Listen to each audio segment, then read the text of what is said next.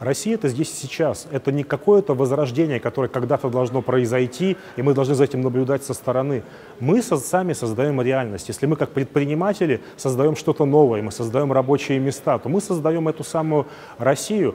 Вы просто решаете, вы наблюдатель, смотрите со стороны, что происходит, или вы участник этого процесса. Я не говорю здесь про какие-то митинги, про какие-то выступления э, на, пози на позиционных мероприятиях. Я говорю о том, что просто нужно заниматься своим делом, вместо того, чтобы обсуждать что-то, нужно просто пойти и сделать что-то полезное для общества. Вот тогда будем говорить о возрождении России.